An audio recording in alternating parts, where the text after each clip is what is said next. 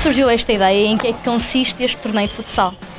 Este torneio de futsal surge no âmbito da divulgação da oferta formativa do Instituto Politécnico da Maia, mais em particular na licenciatura em treino esportivo e do teste de treino esportivo de jovens. Nós temos a trabalhar connosco dois professores de excelência, o professor André Teixeira e o professor Jorge Braz. O professor Jorge Braz, em particular, é o selecionador nacional de futsal. Um, é nosso objetivo então divulgar não só esta oferta formativa, mas muito em particular a existência do futsal como uma modalidade de excelência no IP Maia e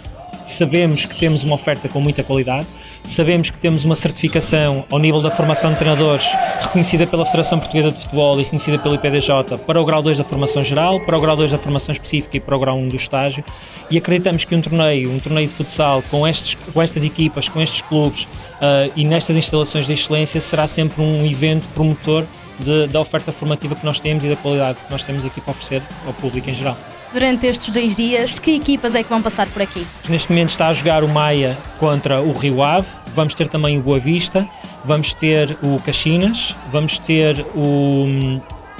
o Santiago Futsal Portanto, vai ser aqui um conjunto de, de, equipas que vão participar e também vamos ter o Sport Lisboa e Benfica. Portanto, acreditamos que pela, pelo, pelo conjunto de equipas que nós vamos ter aqui é um torneio que, que vai ser um símbolo, vai ser uma festa de futsal, que nós gostamos de dizer, e, e vai ser um símbolo daquilo que nós queremos para, para o IP Maia e também para a Maia em geral.